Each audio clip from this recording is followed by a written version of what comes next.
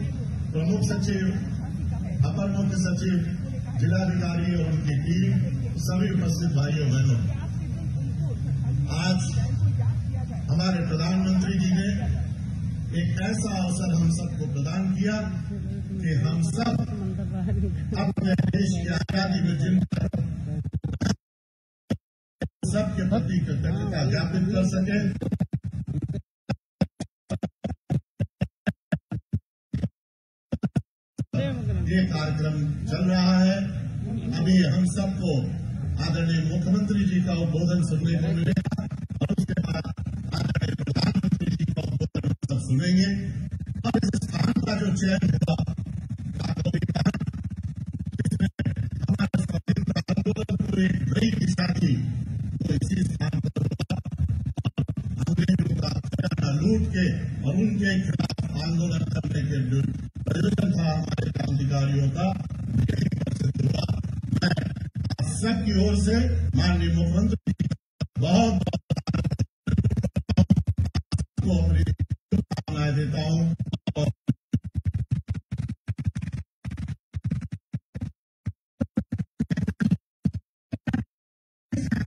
न्याय मंत्री श्री ब्रजेश पाठक जी से अनुरोध करूँगी कि अब दो शब्द कहकर हमें कृतार्थ करें।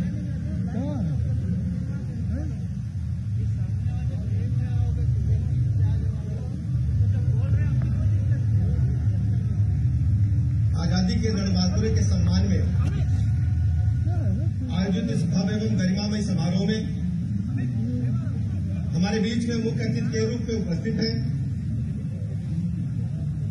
उत्तर प्रदेश सरकार के यशस्वी मुख्यमंत्री, लोकप्रिय मुख्यमंत्री, हम सबके नेता, जिन्होंने मात्र चार वर्ष में कई दशकों की बिगड़ी हुई मशीनरी को दुरुस्त करके उत्तर प्रदेश को बीमारू राज्य से निकाल करके विकसित प्रदेश की तरफ़ बढ़ाने का अवसर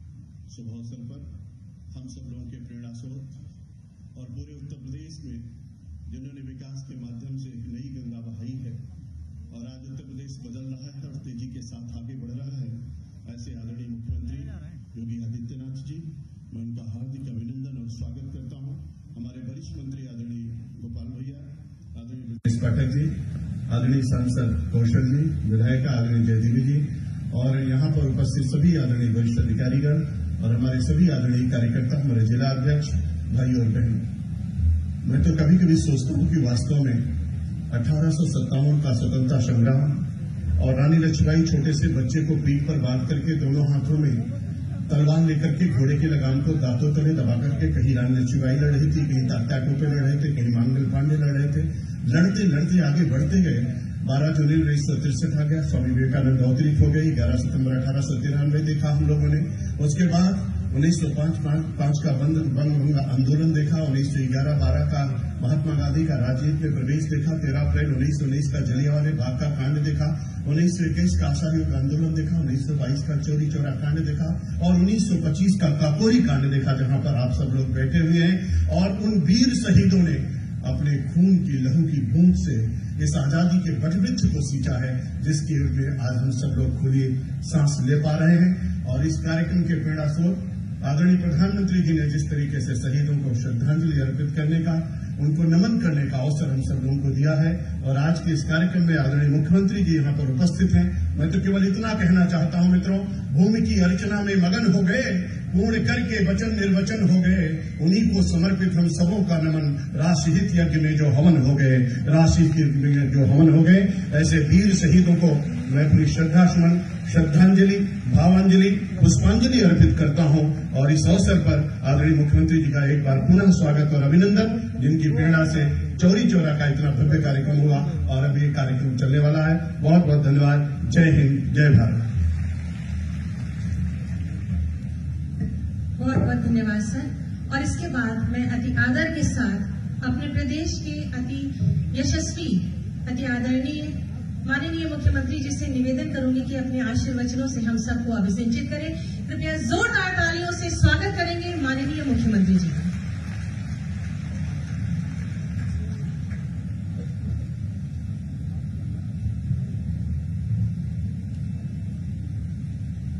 भारत माता की भारत माता की। भारत माता की। वंदे।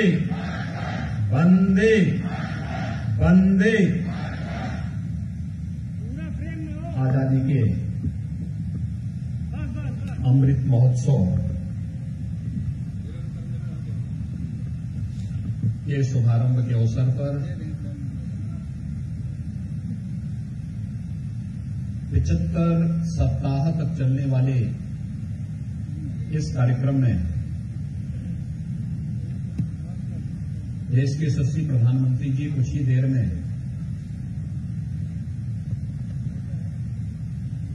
आज़ादी के प्रमुख घटना दांडी मार्च का शुभारंभ करेंगे।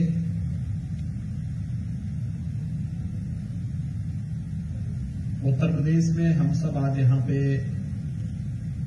आज़ादी के आंदोलन की एक बहुत महत्वपूर्ण घटना काकोरी कांड के इस ऐतिहासिक स्थल पर एकत्र हैं। आज के इस कार्यक्रम में मेरे साथ यहाँ पर उपस्थित प्रदेश के नगर विकास मंत्री आशुतोष टंडन जी प्रदेश के विधि एवं न्याय मंत्री श्री ब्रजेश पाठक जी। प्रदेश सरकार में जल शक्ति मंत्री डॉक्टर महेंद्र सिंह जी। मान्य सांसद श्री कौशल किशोर जी। मान्य विधायक श्रीमती जयदेव जी। अपर मुख्य सचिव सूचना श्री मोहनी सहगल जी। प्रमुख सचिव पर्यटन एवं संस्कृति श्री मुकेश मिश्राम जी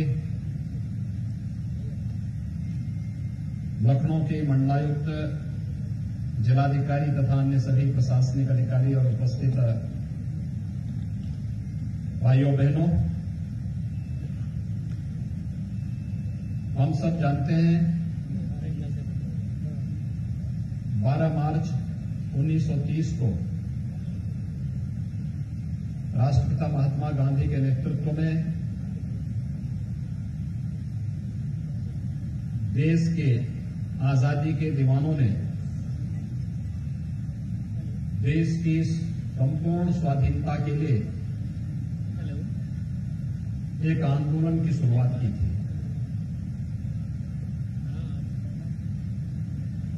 सभी ने अवज्ञा के नाम पर भारत के स्वाधीनता आंदोलन के सुप्रसिद्ध इस आंदोलन का स्मरण करने के लिए आज आदरणीय प्रधानमंत्री जी के मार्गदर्शन में एक बार फिर से यह दांडी मार्च, जो 12 मार्च 1930 से 6 अप्रैल 1930 तक निकला था। उसी की स्मृतियों को ताज़ा करने के लिए एक बार फिर से इस मार्च का शुभारंभ आदरणीय प्रधानमंत्री जी के द्वारा कुछ ही देर में गुजरात के ऐतिहासिक दांडी नामक स्थान पर प्रारंभ होने जा रहा है। हम सबके लिए सौभाग्य का विषय है कि 15 अगस्त 2022 देश की आज़ादी के 75 वर्ष पूर्ण होने के उपलक्ष्य में पूरा देश आज़ादी के अमृत महोत्सव को 75 सप्ताहों तक हर्षोल्लास के साथ आयोजित कर सके। इस दृष्टि से आज से ही यह कार्यक्रम का शुभारंभ भी प्रधानमंत्री जी के कर कमलों से प्रारंभ होने जा रहा है। यद्यपि आज चार स्थानों पर प्रदेश में कार्यक्रम है, जिसमें 1925 के काकोरी कांड इस प्रमुख स्थल पर मुझे स्वयं भी आने का सौभाग्य प्राप्त हुआ है। मैं काकोरी कांड के उन सभी अमर शहीदों को, जिन्होंने देश की स्वाधीनता के लिए अपना सर्वस्व निछावर किया था पंडित राम प्रसाद बिस्मिल राम प्रसाद लाहड़ी, चंद्रशेखर आज़ाद, रोशन सिंह, अस्फाउल्ला खान, ऐसे वे क्रांतिकारी थे जिनके जीवन का लक्ष्य ही देश की स्वाधीनता का था। और देश के दुश्मनों के खिलाफ हमें क्या रणनीति बनानी है? उस समय भारत की जनता के पैसे को भारत के खिलाफ ही इस्तेमाल करने, अंग्रेज़ की अंग्रेज़ों की रणनीति के खिलाफ उन्होंने काकोरी में उस सरकारी खजाने को लूटा था, जो भारत की जनता से लिया जा रहा था और जिसका दुरुपयोग भारत की जनता के दमन के लिए किया जा रहा था। काकोरी कांड के नाम पर विख्यात यह घटना भारत के इतिहास का एक महत्वपूर्ण घटना बनी। आज मेरा सौभाग्य है कि मैं भारत माता के उन महान सपूतों को, उन अमर शहीदों को यहाँ पर विनम्र श्रद्धांजलि देते हुए इस अमृत महोत्सव के कार्यक्रम के साथ जुड़ रहा हूँ। मेरे सहयोगी मंत्रीगण, मेरठ में, झांसी में और बलिया में भी अलग अलग स्थानों पर अमृत महोत्सव कार्यक्रम के साथ जुड़ रहे हैं। लेकिन हम सब जानते हैं 4 फरवरी 1922 को इस देश के अंदर आज़ादी के आंदोलन को एक नई दिशा देने वाली चोरी चोरा की ऐतिहासिक घटना भी घटित हुई थी। और चोरी चोरा की इस घटना के 100 वर्ष होने के उपलक्ष्य में एक वर्ष तक चलने वाले कार्यक्रमों का शुभारंभ आदरणीय प्रधानमंत्री जी के कर कमलों से 4 फरवरी 2022 को प्रदेश सरकार पहले ही प्रारंभ कर चुकी है।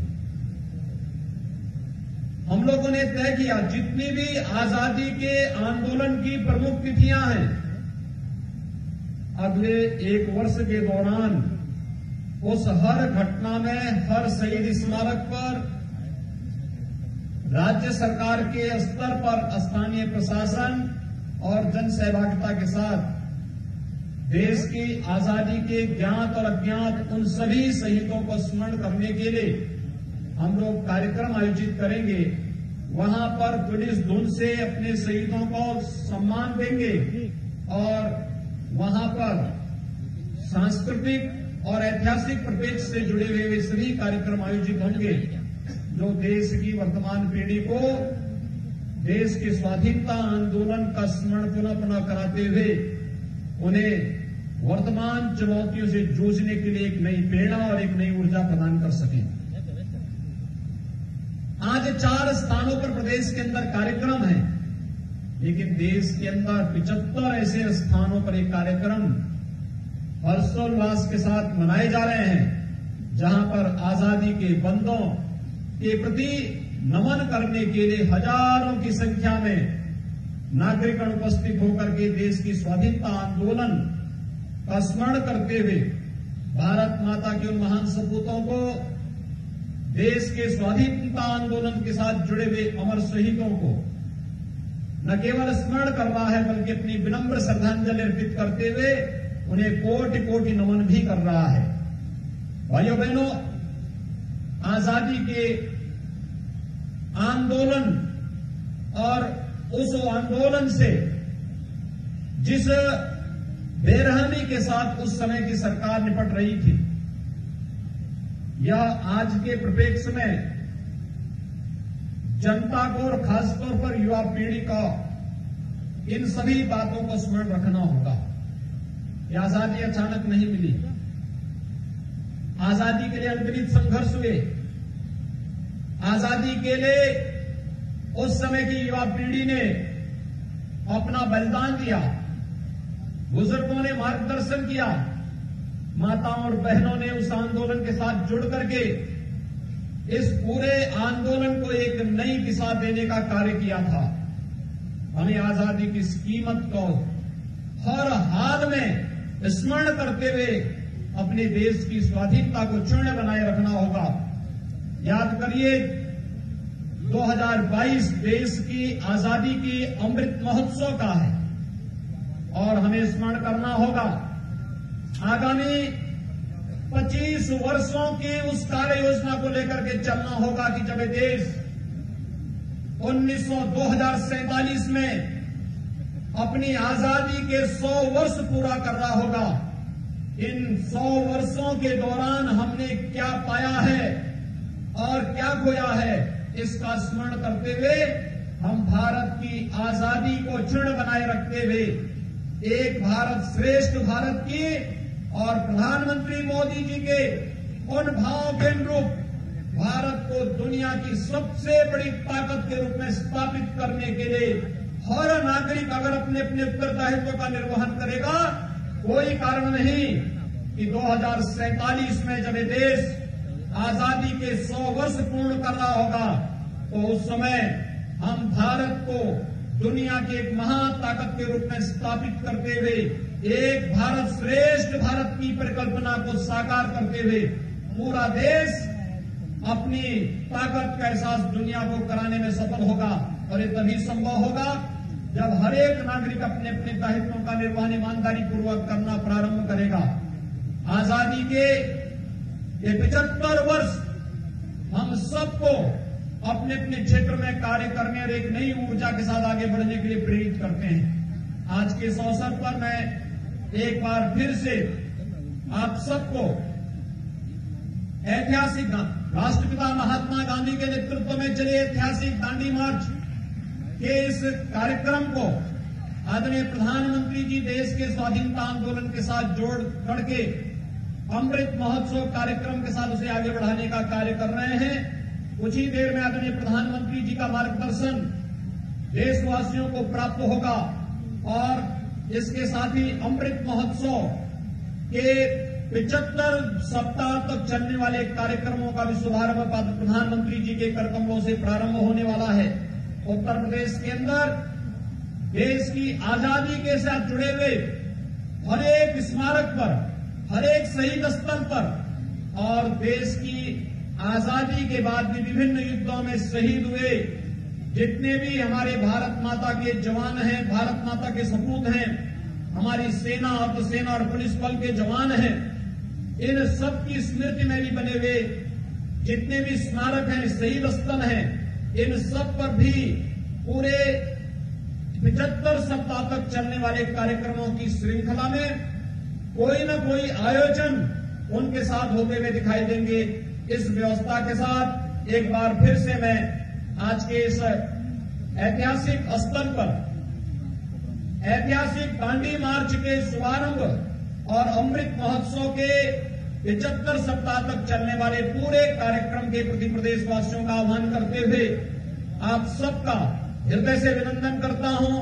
पूरे कार्यक्रम के प्रति अपनी शुभकामनाएँ देते हुए आप सभी के प्रति मैं हृदय से बधाई देता हूँ, शुभकामनाएँ देता हूँ और आज़ादी के आंदोलन में ज्ञात और अज्ञात भारत माता के महान सपूतों की प्रति कोटि कोटि नमन करते हुए विश्वास व्यक्त करता हूँ कि उनका त्याग और बलिदान हम सबको एक नई प्रेरणा प्रदान करेगा और भारत को एक भारत श्रेष्ठ भारत के मार्ग पर ले जाते हुए भारत को दुनिया की एक महाशक्ति के रूप में स्थापित करने में हम सब नए सिरे से कार्य कर पाएँगे।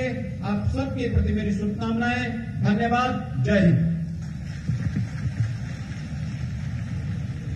बहुत बहुत आभार और धन्यवाद माननीय। इसी के साथ मैं करबद्ध निवेदन करूँगी। माननीय मुख्यमंत्री जी सहित समस्त गणमान्य महानुभावों से कि कृपया मंच के समक्ष अपना आसन ग्रहण करें, स्थान लें। और इसी के साथ हम सीधे जुड़ेंगे माननीय प्रधानमंत्री जी के साथ, जो कि आज़ादी का अमृत महोत्सव का शुभारंभ कर रहे हैं। सामने लगी हुई स्क्रीन पर दृष्टि डालेंगे और माननीय प्रधानमंत्री जी का कार्यक्रम देखेंगे। और हमारे बीच में शिलू सिंह राजपूत जी हैं। पूरे भारत की जानी मानी आला गायिका जी। और उनसे निवेदन करूँगी कि काकोरी घटना पर आधारित ये आला गायन प्रस्तुत करें।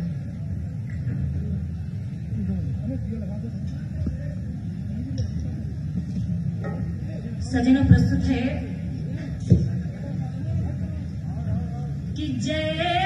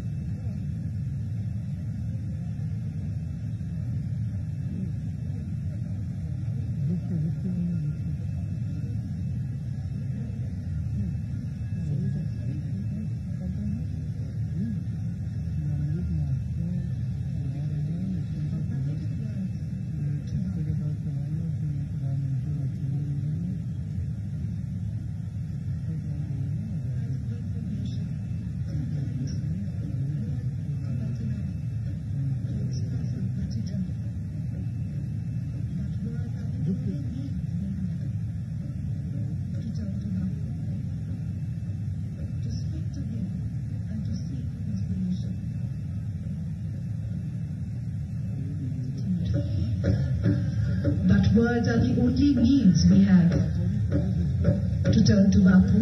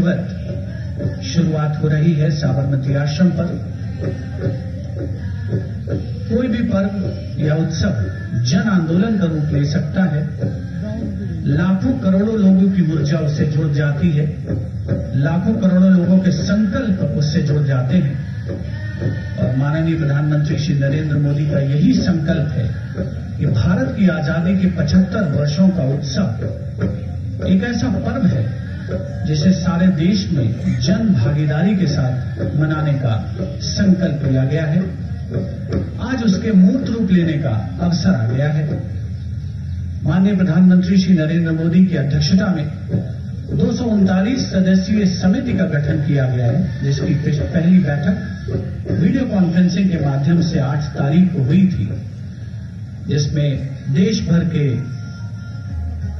गुणधन्य गणमान्य लोग शामिल हैं जो अपने सुझाव देंगे। आज़ादी के अमृत महोत्सव को एक भव्य स्वरूप प्रदान करने के लिए। A celebration of 75 five weeks to mark 75 five years of India independence Azadi ka Amrit Mahotsav the festival of India eternal freedom In this celebration will be a tribute to the martyrs of the freedom struggle, the great leaders who led India towards freedom, led by Mahatma Gandhi. And this celebration will also give a glimpse of modern India and the future that it marches towards.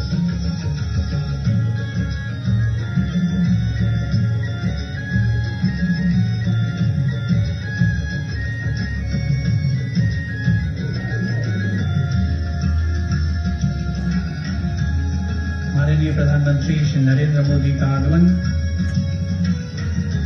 जहाँ से आज वे विशेष समारोह में पूर्व प्रधानमंत्री स्वर्गीय मोरारजी देसाई के समाधि स्थल अभय घाट से सत्याग्रहियों को दांडी के लिए रवाना करेंगे।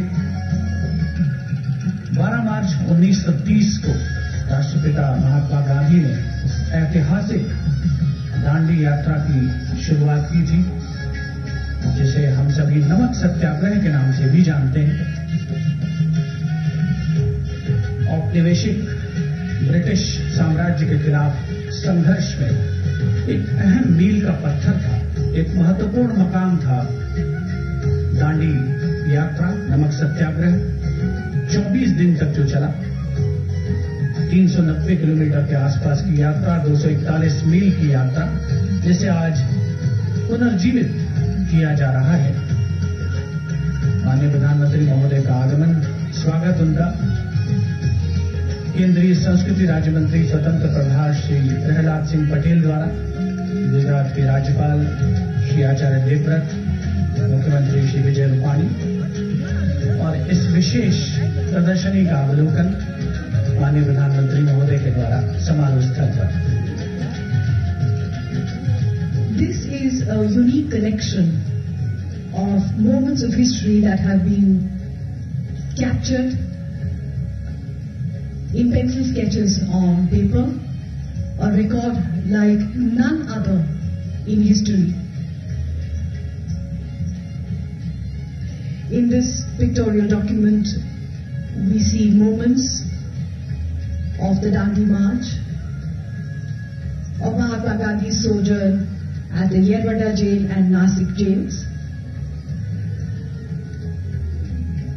We also see pictures of leaders who were associated with and were devotees of Mahatma Gandhi, including the frontier Gandhi, Khan Abdul Ghaffar Khan, Sardar Patel, Jamnalal Bajaj, Sarojini Naidu, Mittuben Petit, Jawaharlal Nehru, and several others. These sketches have been made by Chaggan Lal Jadhav, who was a young boy who came to the ashram and became a devotee of Mahatma Gandhi. It was soon discovered that he had artistic abilities which were encouraged by Bapu.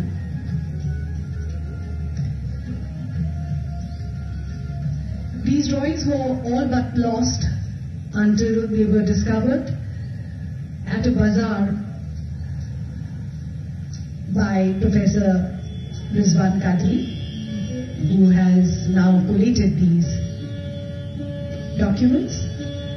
They have been authenticated, and so we know that they are actual paintings by Chaggan Bhai that capture the Dandi Yatra and especially Mahatma Gandhi in different modes. 12 साल की उम्र में छगनलाल यादव वाडक से पाँच से छह kilometre पैदल कोचरम में गांधी जी द्वारा स्थापित अंत्यज रात्रिशाला में पढ़ने के लिए आए थे और उसके बाद जीवन पर्यंत वे बापू के साथ रहे। दांडी मार्च का जीवंत चित्रात्मक प्रलेखन, उस समय की महत्वपूर्ण दस्तावेज़, पांडुलिपियाँ, ये सभी यहाँ पर संरक्षित की गई हैं। आधुनिक भारत का जो इतिहास है, उसे पुनर्जीवित करने का प्रयास हुआ है। प्रतिष्ठित पत्रिका टाइम मैगजीन पर बापू के चित्र प्रकाशित हुए हैं। उनसे अवगत कराया जा रहा है माननीय प्रधानमंत्री श्री नरेंद्र मोदी को। और स्वावलंबन का परिचायक ये चरखा, साबरमती आश्रम का अभिन्न अंग है।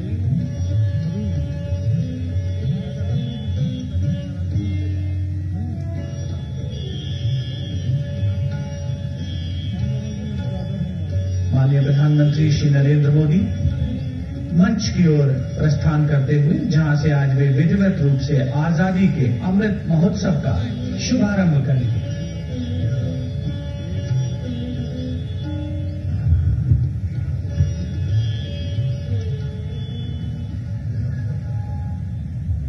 ये पावन धरा है, साबरमती आश्रम के इस स्थल पर यह आयोजन, जो कि आज़ादी का अमृत महोत्सव है जिसका शुभारंभ आज माननीय प्रधानमंत्री महोदय के कर कमरों से होने जा रहा है। इस अवसर पर बहुत बहुत स्वागत है, अभिनंदन है, वंदन है माननीय प्रधानमंत्री महोदय का। यह हम सबके लिए बहुत सौभाग्य की बात है। यह हम सबके लिए गर्व की बात है कि इस पावन धरा पर इस आयोजन का शुभारंभ आज होने जा रहा है।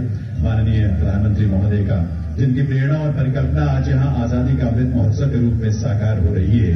हार्दिक स्वागत, अभिनंदन। साथ ही स्वागत अभिनंदन है मंचासीन माननीय राज्यपाल श्री आचार्य देवव्रत जी का माननीय मुख्यमंत्री श्री विजय भाई रूपाणी जी का माननीय केंद्रीय संस्कृति राज्य मंत्री स्वतंत्र प्रभार श्री प्रहलाद सिंह पटेल जी का We also welcome Sri C.R. Patil, Member of Parliament, Sri Kiritbhai Parmar, Mayor Ahmedabad, Sri Kartikay Sarabhai, Trustee, Sabarmati Ashram Trust, and also Sri Amrit Modi, Secretary, Sabarmati Ashram Trust. Once again, we welcome all the esteemed dignitaries on this remarkable occasion. Thank you. देवियों सज्जनों 15 अगस्त उन्नीस सौ सैंतालीस जब भारत में आज़ादी का सूर्य उदित हुआ था सौ वर्षों से भी लंबे समय तक चले आज़ादी के आंदोलन में लाखों देशवासियों ने अपने प्राण न्यौछावर किए अपने प्राणों का उत्सर्ग किया उसी सुबह के साथ आशा और विश्वास से भरे देश ने स्वयं को गढ़ने और आगे बढ़ने का संकल्प लिया था 15 अगस्त 2022 को यह यात्रा अपने 75 वर्ष पूरे करेगी और इसीलिए ये होगा आज़ादी का अमृत महोत्सव, जिसका शुभारंभ आज होने जा रहा है। 15 अगस्त 2022 से 75 सप्ताह पूर्व, यानी आज 12 मार्च 2021 से शुभारंभ हो रहा है आज़ादी का अमृत महोत्सव से जुड़े आयोजनों का। ऐसे आयोजन जो देश में, विदेश में, जल थल नभ में, राष्ट्र के गौरव को नए शिखर तक लेकर जाने की प्रेरणा बनेंगे।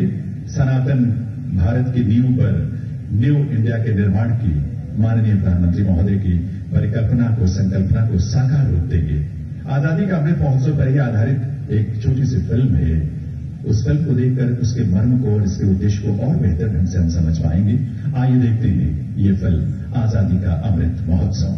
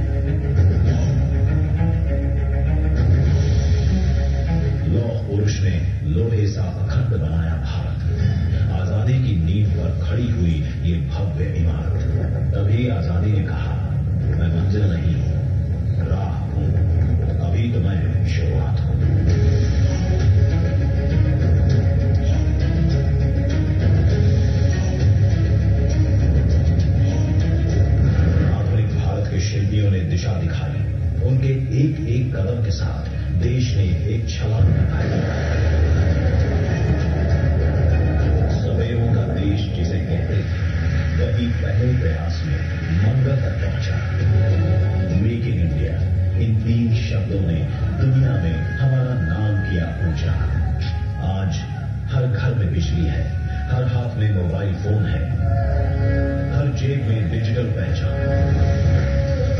हर खाते में डायरेक्ट बेनिफिट हर रसोई में स्वच्छ ईंधन। और हर आवास में इज़्ज़त घर है।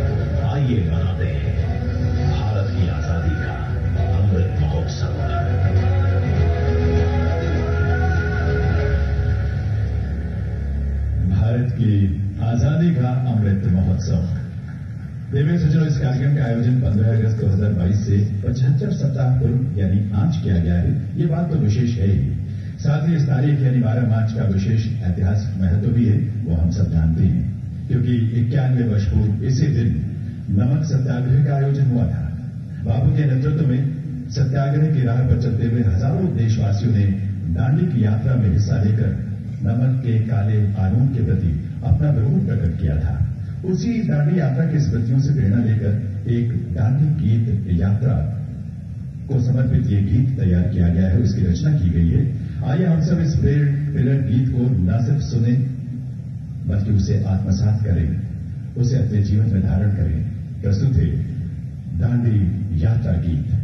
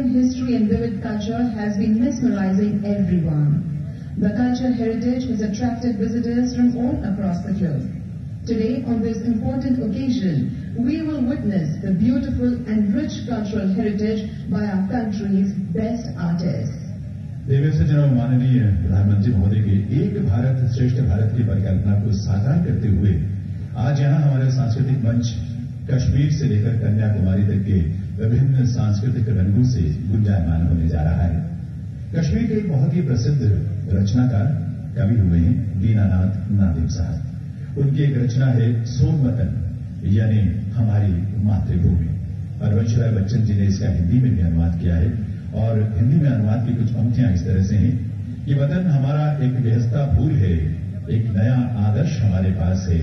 हमने पाया भारत का प्यार है, मिली विधस्ता से गंगा की धार है वतन हमारा एक गृहस्था भूल है। इसी सोन वतन गीत को लेकर सांस्कृतिक मंच पर उपस्थित हैं जम्मू कश्मीर के सौरभ जाड़ू और इंडियन हारमोनी स्क्वायर के कलाकार।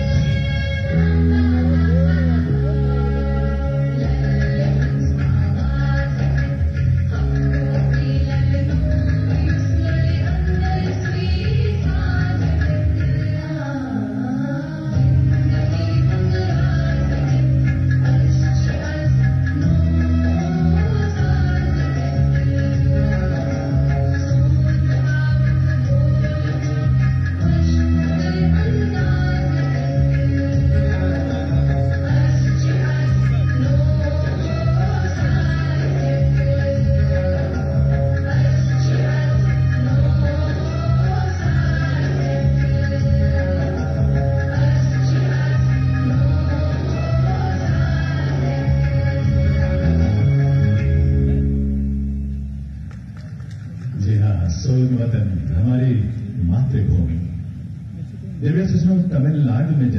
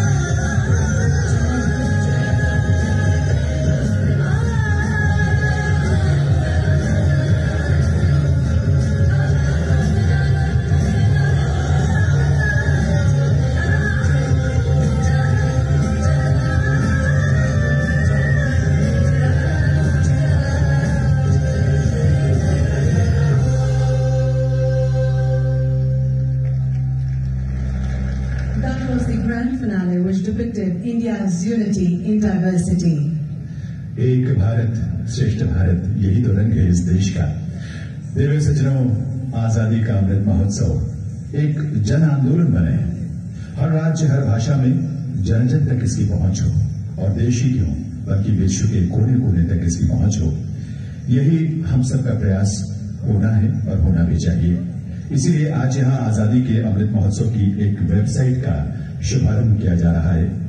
स्वतंत्रता के 75 वर्ष के उत्सव को जानने, उसे समझने, अनुभव करने और भाग लेने का ये एक वैश्विक डिजिटल प्लेटफॉर्म होगा।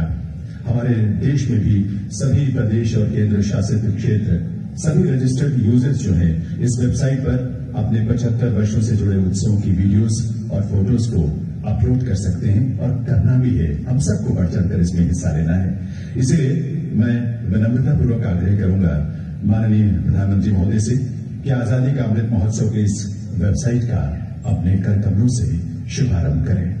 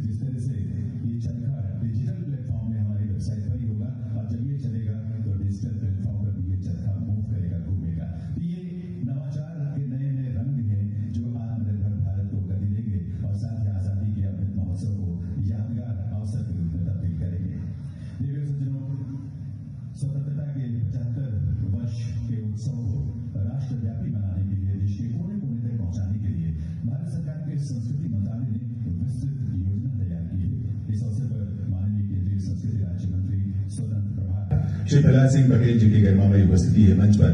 मैं उनसे निवेदन करूँगा, माननीय श्री प्रहलाद सिंह पटेल जी से कि वे अपने स्वागत संबोधन के लिए बधाएँ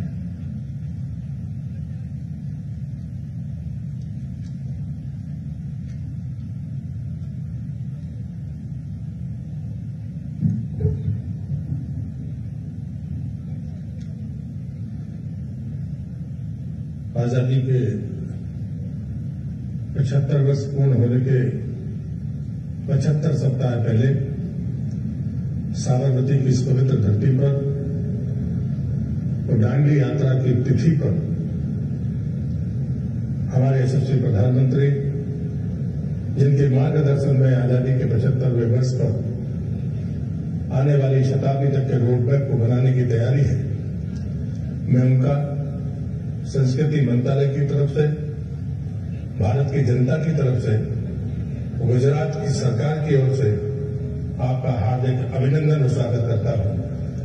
इस कार्यक्रम में गुजरात के राज्यपाल माननीय आचार्य देवव्रत जी, गुजरात के मुख्यमंत्री माननीय श्री विजय रूपाणी जी, हमारे संसद में सदस्य साथी, सांसद C R Patil ji Sabarmati trust आश्रम के हमारे आदरणीय कार्त के सारा भाई जी, आदरणीय श्री अमृत मोदी जी, अहमदाबाद के महापौर माननीय किरीट परमार जी, यहाँ पर उपस्थित सभी उपस्थित भाई और बहनों, देश के वो पचहत्तर स्थान जहाँ पर देश के हमारे लोकसभा के अध्यक्ष मंत्री परिषद के वरिष्ठ सहयोगी, आदरणीय राज्यपालगण, मुख्यमंत्रीगण, विधायक और सांसदगण, और आम गणमान्य नागरिक इस कार्यक्रम में शामिल हो रहे हैं। मैं उन सबका हृदय से स्वागत करता हूँ। मैं इस अवसर पर महात्मा गांधी जी के 2 मार्च 1930 के इस दो वाक्यों को उद्धर कर कर अपनी बात को शुरू करूँगा। महात्मा गांधी जी ने ये पत्र लॉर्ड एवन को 2 मार्च 1930 को लिखा था। तब उन्हें लिखा था राजनीतिक दृष्टि से हमारी स्थिति गुलामों से अच्छी नहीं है। हमारी संस्कृति की जड़ें ही खोखली कर दी गई है। हमारा हथियार छीनकर, हमारा सारा पौरुष अपहरण कर लिया गया है। हम सबको निशस्त्र करके कायदों की भांति निसहाय और निर्बल बना दिया है। लेकिन आज इक्यानबे वर्ष बाद, आज हम फिर उसी माटी पर खड़े हैं, उस धरती पर, उस तारीख में खड़े हैं, लेकिन आज वो बदला हुआ भारत है। आज करीब इक्यानबे साल बाद, जब मैं उसी मिट्टी पर आज़ादी के पचहत्तर साल के अमृत उत्सव के मौके पर चल रहा हूँ, तब देश के हालात बदले हुए हैं। और हमारे प्रधानमंत्री नरेंद्र मोदी जी कहते हैं कि भारत की आज़ादी की शताब्दी का सफ़र स्वावलंबी और स्वाभिमान से भरा होगा। हम दुनिया के सामने अभियाचक नहीं होंगे। हमारी छवि अब दुनिया अपने कैनवास पर दाता के रूप में बनाएगी। हमने संकट के समय में दवा हो या वैक्सीन हर किसी को अपना कुटुंबी मानकर पहुँचाया है।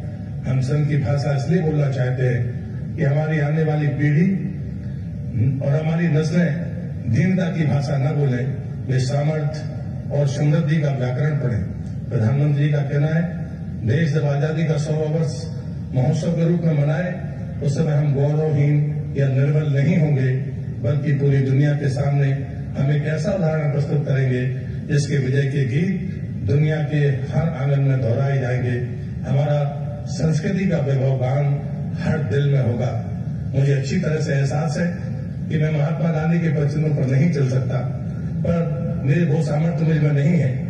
लेकिन उन प्रचिन्हों को नमन करने का अवसर आज यहाँ पर हमें मिल रहा है। इस अमृत महोत्सव में हमारे पदयात्री जो गुजरात की धरती से वो इक्यासी लोग आज साबरमती से दांडी तक की यात्रा पाँच अप्रैल को पूरा करेंगे। एक दूसरा ग्रुप है, जिसमें चौदह राज्यों के प्रतिनिधि हैं और इक्यानवे लोग हैं, वो पचहत्तर किलोमीटर की यात्रा करेंगे, जो साबरमती से नाडिया के आगे तक की होगी। मैं उन तमाम पदयात्रियों को भी हृदय से स्वागत और अभिनंदन करता हूँ।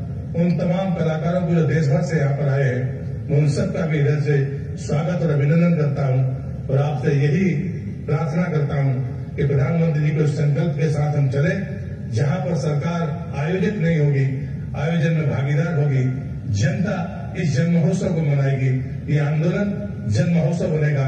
इसी प्रार्थना के साथ मैं पुनः प्रधानमंत्री जी का अभिनंदन और आभार व्यक्त करते हुए अपनी बात को समाप्त करता हूँ। बंदे मातरम।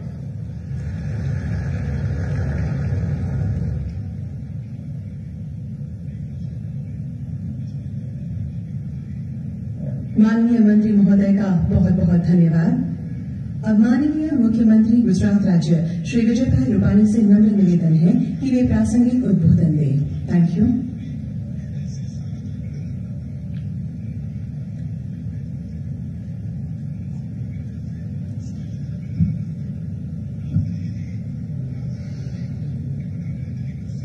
इस मंच पर विराजमान हमारे यशस्वी प्रधानमंत्री आत्मनिर्भर भारत का,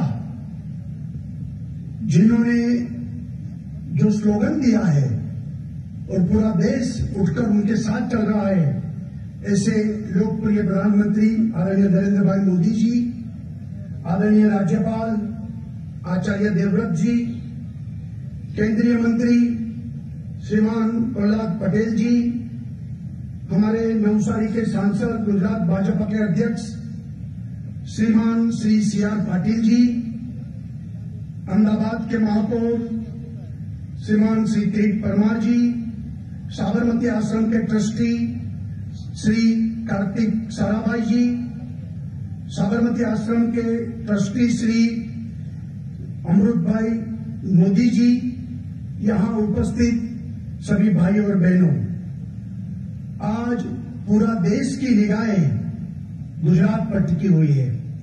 क्योंकि जिस गुजरात में महात्मा गांधी जी और सरदार वल्लभ भाई पटेल के नेतृत्व में आज़ादी की, जंग की अगुवाई की थी और ब्रिटिशरों को भारत भूमि से खरीदने का जो काम किया है, वही गुजरात की भूमि पर आज आज़ादी की प- प- आज़ादी की सेलिब्रेशन और सालगिरह के कार्यक्रम में उनका शुभारंभ भी आज गुजरात से हो रहा है। गांधी जी और सरदार साहब ने जन सहयोग से हमें आज़ादी दिलाकर स्वतंत्रता का जयघोष किया और हमें स्वराज मिला। आज जब देश आज़ादी का 75 वर्ष अमृत महोत्सव का शुभारंभ कर रहे हैं तब गुजरात की भूमि को, भूमि के सपूत और स्वराज्य से सुराज्य की यात्रा के प्रणेता आदरणीय प्रधानमंत्री जी, हमारा मार्गदर्शन करने के लिए पधारे और साबरमती आश्रम की ये भूमि से 1930 में आज के ही दिन 12 मार्च को महात्मा गांधी जी ने ऐतिहासिक दांडी कूच का आरंभ किया था और दांडी यात्रा की इक्यावन साल की आरंभ अवसर पर आज आज़ादी के अमृत महोत्सव के शुभारंभ और अवसर पर पूरा देश आदरणीय नरेंद्र भाई मोदी के नेतृत्व में एकजुट होकर लिव फॉर द नेशन मंत्र के साथ आज विकास की राह पर विश्व गुरु बनने के लिए जा रहा है। हमारा देश अपनी आज़ादी के 75 साल पूरे होने का जश्न मनाने जा रहा है और आज़ादी के इस अमृत महोत्सव की शुरुआत गुजरात के अहमदाबाद के पवित्र साबरमती आश्रम से हो रही है। ये हमारे लिए सौभाग्य की और गर्व की बात है कि माननीय प्रधान जी ने प्रधानमंत्री जी ने इसके लिए गुजरात को चुना और मैं उनका हृदय से आभार व्यक्त करता हूँ। आज ही के दिन पूज्य बापू ने साबरमती के इस आश्रम से अंग्रेज़ी को, अंग्रेज़ों की दमनकारी नीति के खिलाफ दांडी यात्रा की शुरुआत की थी।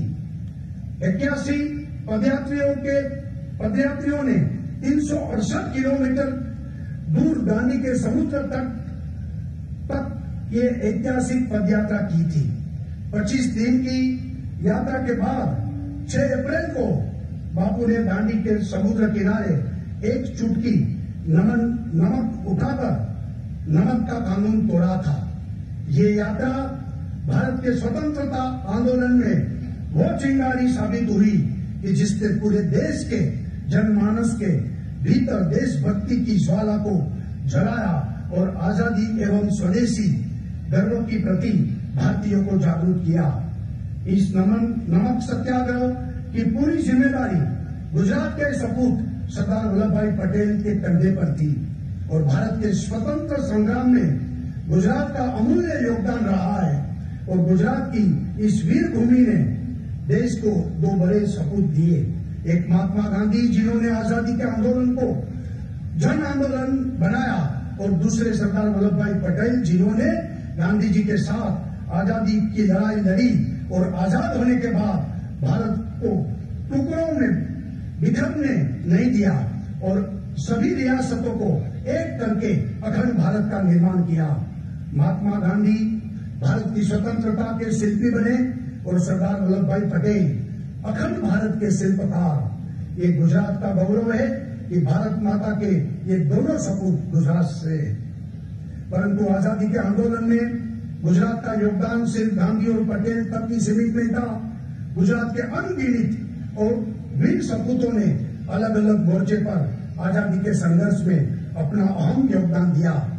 गुजरात के गणेश वासुदेव मौ- मौलंकर कन्याम लाल मुंशी, विनोद किनारेवाला मोरारजी देसाई विठल भाई Patel Maganbhai Patel, doctor Chandubhai Desai, Pranayalal Desai, Balwant Mehta Uchharangrai Dhebar और वासुदेव भट्ट जैसे अनेक क्रांतिकारियों ने अपना योगदान दिया है और भारत की आज़ादी की लड़ाई अनेक मोर्चे पर लड़ी गई। दादा भाई नवरोज जी ने आर्थिक राजकीय मोर्चा का संग्राम किया। स्वामी सजानंद नर्मद दलपत राम दुर्गाराम मेहता, उमाशंकर जोशी जैसे अनेक सुधारकों ने जन सामाजिक क्षेत्र में अपना अहम योगदान दिया। रणछोड़ लाल छोटालाल ने अहमदाबाद में पहली कपड़ा मिल शुरू की और औद्योगिक क्षेत्र में अपना योगदान दिया। श्यामजी कृष्ण वर्मा सरदार सिंह राणा, मैडम मैडम भिखाजी कामा के योगदान को भला कौन भुला सकता है? सुरेंद्रनगर ज़िले के कंथाले गाँव के महान क्रांतिकारी सरदार सिंह राणा ने पेरिस में रहते हुए देश की आज़ादी में अपना योगदान दिया और उन्होंने मैडम कामा के साथ जर्मनी में पहली बार भारत का राष्ट्रध्वज लहराया था। हमारे कच्छ के महान क्रांतिकारी, क्रांति गुरु श्री श्यामजी कृष्ण वर्मा वर्मा ने ब्रिटेन में रहते हुए क्रांति की मसाल जलाई। और अनेक अपने विचारों से प्रेरित कर इस देश को, अनेक क्रांतिकारियों को दिशा दर्शन दिया। इस गुजरात की धरती की धन्यता है कि ऐसे सपूत इस धरती ने देश को समर्पित किए। गुजरात की नारी शक्ति ने भी आज़ादी की लड़ाई में बढ़ चढ़कर हिस्सा लिया था। उषा मेहता लीलावंती बैंकर वनमाला देसाई, पूर्णिमा बेन जैसी अनेक वीरांगनाओं ने आज़ादी के संघर्ष में अपना योगदान दिया। गुजरात के आदिवासियों ने भी स्वतंत्र संग्राम में अविस्मरणीय योगदान दिया। 1818 में डांग के भील समुदाय द्वारा चलाया गया आंदोलन। अठारह में रूपसी नायका ब्रिटिश विरोधी आंदोलनों या गुरु गोविंद गोविंद गुरु का आंदोलन, ऐसे अनेक आदिवासी आंदोलन गुजरात में हुए थे। ज़्यादातर लोगों यह बात नहीं जानते थे कि जलियांवाला बाग जैसे दो बड़े अमानुषी हत्याकांड का दर्द भी गुजरात की धरती में सहा है। मानगंज में, गोविंद गुरु के नेतृत्व में हज़ारों आदिवासियों ने भारत माता की जय के नारे लगाते हुए अंग्रेज़ों के दमन के खिलाफ लड़ते हुए अपना जान गवाया था। वैसा ही एक विद्रोह विजयनगर के पाली चरतिया गाँव में मोती सिंह तेजावत के नेतृत्व में अंग्रेज़ के दमनकारी लगान के खिलाफ किया था जिसमें असंख्य क्रांतिकारी आदिवासियों ने शहीदी दी थी। गुजरात के लिए सौभाग्य की बात यह रही है कि पूज्य बापू ने अपना सबसे ज़्यादा समय गुजरात में बिताया और उनका ये साबरमती आश्रम अनेक महत्वपूर्ण ऐतिहासिक पलों का साक्षी रहा है। बापू के आह्वान पर 1942 में हिंद छोड़ो आंदोलन में भी गुजरात ने चढ़कर हिस्सा लिया था। आज गुजरात भारत के लिए अत्यंत प्रगतिशील राज्य है। देश की जीडीपी में गुजरात का योगदान आठ परसेंट है और हमारे पास साढ़े सोलह सोलह सौ किलोमीटर का लंबा समुद्र तट है, जिसमें 40 से ज़्यादा पोर्ट और देश के एक्सपोर्ट में गुजरात का भी काफ़ी हिस्सेदारी है। एग्रीकल्चर में भी, दूध के उत्पादन में भी हम सबसे आगे हैं। रिन्यूएबल एनर्जी में हम तेज़ी के साथ काम कर रहे हैं। गुजरात में इंडस्ट्रीज़ है। देश के सबसे ज़्यादा रोज़गार भी गुजरात ही देता है। और ऐसा इसलिए संभव हो पाया है क्योंकि गुजरात को हमेशा एक मज़बूत, समर्पित नेतृत्व मिला है। यह हमारा सौभाग्य रहा है कि 2001 से 2014 तक भारत के प्रवर्तमान प्रधानमंत्री जी, श्री नरेंद्र भाई मोदी जी ने गुजरात के मुख्यमंत्री रहे हैं। और जिन्होंने हमेशा प्रजा को केंद्र में, जनता को केंद्र में रखते हुए सिटीजन सेंट्रिक व्यवस्थाएँ बनाई, ज्योतिग्राम योजना से घर घर बिजली पहुँचाने का की उन्होंने योजना बनाकर सफल साबित किया और घर घर पानी पहुँचाने के लिए हम आगे जा रहे हैं। गुणवत्ता युक्त शिक्षा देने की बात हो या फिर घर घर शौचालय बनाने की बात हो, ऐसी बहुत सारी योजनाएँ जो पहले गुजरात में सफलतापूर्वक लागू की गई है। अब पूरे देश में प्रधानमंत्री जी, मंत्री जी के नेतृत्व में ये लागू हो रही है। मैं मानता हूँ कि जो देश अपने इतिहास को भूल जाता है, वो अपने वर्तमान और भविष्य की राय भी भूल जाएगा। इसलिए स्वतंत्र संग्राम के हमारे महान वीरों का बलिदान और उनका योगदान हमारे दिलों में सदैव अंकित रहे और इसके लिए हमारी सरकार ने गांधी टूरिज़्म सर्किट बनाई, नेशनल सॉल्ट मेमोरियल बनाया ट्राइबल म्यूज़ियम का निर्माण हो रहा है। गांधी आश्रम और राष्ट्रीय शायर जवेद चंद्र मेघानी के स्मारक स्थानों को विकसित किया जा रहा है और दुनिया की सबसे बड़ी ऊँची प्रतिमा स्टेच्यू ऑफ़ यूनिटी का निर्माण किया। गुजरात हमेशा ही देश के, देश को नेतृत्व देता आया है और आगे भी देता रहेगा। मुझे पूरा विश्वास है कि गुजरात देश का ग्रोथ इंजिन बनकर देश के विकास का अपना योगदान देता रहेगा। जैसे गुजरात देश की आज़ादी की लड़ाई का केंद्र और बिंदु रहा है वैसे ही भविष्य में विकास का भी डेवलपमेंट का भी बिंदु रहेगा। मैं प्रधानमंत्री जी को विश्वास दिलाता हूँ कि हम गुजराती 24 घंटे पूरे तन मन से मेहनत करके, समर्पित भाव से देश की सेवा करते रहेंगे। आज आज़ादी के अमृत महोत्सव की शुरुआत माननीय प्रधानमंत्री जी के कर कमलों द्वारा गुजरात से शुरू हो रही है। उसको हम सफल बनाएँगे और भारत के जिन वीरों ने आज़ादी की लड़ाई में अपना सर्वस्व निचार किया और उनकी वीर गाथा जनमानस तक पहुंचाएँगे, आज साबरमती आश्रम से निकलकर 25 दिन बाद दांडी यात्रा पहुंचेगी और यात्रा की प्रेरणा द्वारा हम राष्ट्र चेतना और राष्ट्र भावना की अलग जगाएँगे और जन जन के साथ में जोड़कर इस यात्रा को जन यात्रा बनाएँगे। जय जय गरीबी गुजरात, भारत माता की जय।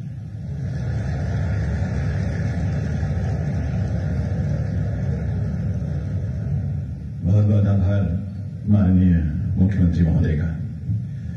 देवी सज्जनों आज़ादी के संघर्ष ने, जहाँ देशवासियों को हँसते हँसते मरने की प्रेरणा दी थी, वही स्वतंत्र भारत में हँसते हँसते जीने और राष्ट्रहित में काम करने की प्रेरणा हम सबको माननीय प्रधानमंत्री महोदय से मिलती है। ये हमारा सौभाग्य है कि आज़ादी का अमृत महोत्सव उनकी गरिमामय उपस्थिति में उनके कर कमलों से आरंभ हुआ और पूरे देश में, विश्व में जन जन तक उसकी भागीदारी सुनिश्चित हो सकेगी। भविष्य में मैं विनम्रतापूर्वक आग्रह करूँगा माननीय प्रधानमंत्री महोदय से इस अवसर पर अपने संबोधन से हम सबका मार्गदर्शन करें, हम सबको अपना आशीर्वचन दें, अपना शुभ संदेश दें, माननीय प्रधानमंत्री महोदय।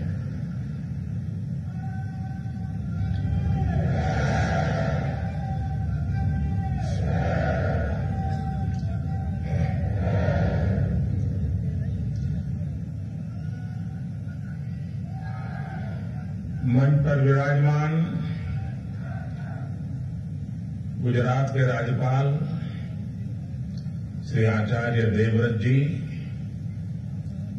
मुख्यमंत्री श्री विजय रूपाणी जी, केंद्रीय मंत्रिपरिषद के मेरे सहयोगी श्री प्रहलाद पटेल जी,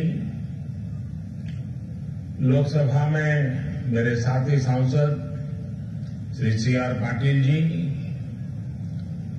अहमदाबाद के नवनिर्वाचित मेयर श्रीमान किरीट भाई, साबरमती ट्रस्ट के ट्रस्टी श्री कार्तिकेय साराभाई और साबरमती आश्रम को समर्पित जिनका जीवन है, ऐसे आदरणीय अमृत मोदी जी देश भर से हमारे साथ जुड़े हुए सभी महानुभाव, देवियों और सज्जनों और मेरे युवा साथियों, आज जब मैं सुबह दिल्ली से निकला तो बहुत ही अद्भुत संयोग हुआ। अमृत महोत्सव के प्रारंभ होने से पहले आज देश की राजधानी में अमृत वर्षा भी हुई और वरुण देव ने आशीर्वाद भी दिया। ये हम सभी का सौभाग्य है कि हम आज़ाद भारत के इस ऐतिहासिक कालखंड के साक्षी बन रहे हैं। आज दांडी यात्रा की वर्षगांठ पर, हम बापू की इस कर्मस्थली पर इतिहास बनते भी देख रहे हैं और इतिहास का हिस्सा भी बन रहे हैं। आज आज़ादी के अमृत महोत्सव का प्रारंभ हो रहा है, पहला दिन है। अमृत महोत्सव 15 अगस्त 2022 से 75 सप्ताह पूर्व आज प्रारंभ हुआ है और 15 अगस्त 2023 तक चलेगा। हमारी यहाँ मान्यता है कि जब कभी ऐसा अवसर आता है, तब सारे तीर्थों का एक साथ संगम हो जाता है। आज एक राष्ट्र के रूप में भारत के लिए भी ऐसा ही पवित्र अवसर है। आज हमारे स्वाधीनता संग्राम के कितने ही पुण्य तीर्थ, कितने ही पवित्र केंद्र साबरमती आश्रम से जुड़े रहे। स्वाधीनता संग्राम की पराकाष्ठा को प्रणाम करने वाली अंडमान की सेल्यूलर जेल, अरुणाचल प्रदेश से एंग्लो इंडियन वॉर की गवाह केकर मॉर्निंग की भूमि, मुंबई का अगस्त क्रांति मैदान, पंजाब का झलियावाला बाग उत्तर प्रदेश का मेरठ, काकोरी और झांसी देश भर में ऐसे कितने ही स्थान पर आज एक साथ इस अमृत महोत्सव का श्री गणेश हो रहा है। ऐसा लग रहा है जैसे आज़ादी के असंख्य संघर्ष, असंख्य बलिदानों का और असंख्य तपस्याओं की ऊर्जा पूरे भारत में एक साथ पुनर्जागृत हो रही है। मैं इस पुण्य अवसर पर बापू के चरणों में अपने श्रद्धा सुमन अर्पित करता हूँ। मैं देश के स्वाधीनता संग्राम में अपने आप को आहूत करने वाले, देश को नेतृत्व देने वाली सभी महान विभूतियों के चरणों में आदरपूर्वक नमन करता हूँ, उनका कोटि कोटि वंदन करता हूँ। मैं उन सभी वीर जवानों को भी नमन करता हूँ, जिन्होंने आज़ादी के बाद भी राष्ट्र रक्षा की परंपरा को जीवित रखा, देश की रक्षा के लिए सर्वोच्च बलिदान दिए शहीद हो गए। जिन पुण्य आत्माओं ने आज़ाद भारत के पुनर्निर्माण में प्रगति की एक एक ईंट रखी, पचहत्तर वर्ष में देश को यहाँ तक लाए।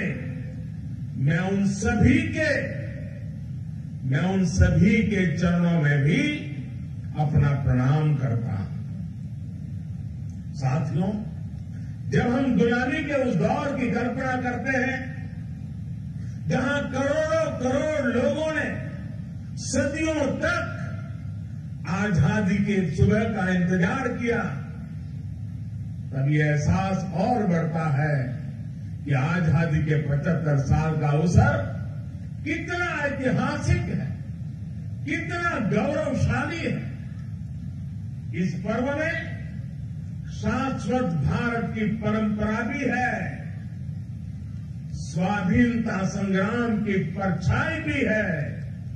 और आज़ाद भारत के गौरवान्वित करने वाली प्रगति भी है। इसलिए अभी आपके सामने जो प्रेजेंटेशन रखा गया, उसमें अमृत महोत्सव के पाँच स्तंभों पर विशेष ज़ोर दिया गया है। Freedom struggle ideas at 75 achievements at 75 actions at 75 और resolves at 75 ये पाँचों स्तंभ आज़ादी की लड़ाई के साथ साथ आज़ाद भारत के सपनों और कर्तव्यों को देश के सामने रखकर आगे बढ़ने की प्रेरणा देंगे। इन्हीं संदेशों के आधार पर आज अमृत महोत्सव की वेबसाइट के साथ चरखा अभियान और आत्मनिर्भर इंक्यूबेटर को भी लॉन्च किया गया है। भाइयों और बहनों, इतिहास साक्षी है कि किसी राष्ट्र का गौरव तभी जागृत रहता है जब वो अपने स्वाभिमान और बलिदान की परंपराओं को अगली पीढ़ी को भी सिखाता है। संस्कारित करता है, उन्हें इसके लिए निरंतर प्रेरित करता है। किसी राष्ट्र का भविष्य तभी उज्जवल होता है, जब वो अपने अतीत के अनुभवों और विरासत के गर्व से पल पल जुड़ा रहता है फिर भारत के पास तो गर्व करने के लिए अथाह भंडार है। समृद्ध इतिहास है। चेतनामय सांस्कृतिक विरासत है। इसलिए आज़ादी के 75 साल का यह अवसर एक अमृत की तरह वर्तमान पीढ़ी को प्राप्त होगा। एक ऐसा अमृत जो हमें प्रतिपल देश के लिए जीने, देश के लिए कुछ करने के लिए प्रेरित करेगा। साथियों, हमारे यहाँ वेदों में एक वाक्य है। मृत्यु मुक्षीय मामृतम अर्थात हम दुख, कष्ट, क्लेश और विनाश से निकलकर अमृत की तरफ़ बढ़े अमरता की ओर बढ़े। यही संकल्प आज़ादी के इस अमृत महोत्सव का भी है। आज़ादी का अमृत, आज़ादी का अमृत महोत्सव, यानी आज़ादी की ऊर्जा का अमृत। आज़ादी का अमृत महोत्सव यानी स्वाधीनता सेनानियों से प्रेरणाओं का अमृत। आज़ादी का अमृत महोत्सव, यानी नए विचारों का अमृत, नए संकल्पों का अमृत, आज़ादी का अमृत महोत्सव, यानी आत्मनिर्भरता का अमृत। और इसलिए ये महोत्सव राष्ट्र के जागरण का महोत्सव है। ये महोत्सव सुराज्य के सपने को पूरा करने का महोत्सव है। ये महोत्सव वैश्विक शांति का विकास का महोत्सव है। साथियों, अमृत महोत्सव का शुभारंभ दांडी यात्रा के दिन हो रहा है। उस ऐतिहासिक क्षण को पुनर्जीवित करने के लिए एक यात्रा भी अभी शुरू होने जा रही है। ये अद्भुत संयोग है कि दांडी यात्रा का प्रभाव और संदेश भी वैसा ही है जो आज देश अमृत महोत्सव के माध्यम से लेकर आगे बढ़ रहा है। गांधी जी की इस एक यात्रा ने आज़ादी के संघर्ष को एक नई प्रेरणा के साथ जन जन से जोड़ दिया इस एक यात्रा ने अपनी आज़ादी को लेकर भारत के नज़रिए को पूरी दुनिया तक पहुँचा दिया था। ऐसा ऐतिहासिक और ऐसा इसलिए क्योंकि बापू की दांडी यात्रा में आज़ादी के आग्रह के साथ साथ भारत के स्वभाव और भारत के संस्कारों का भी समावेश था।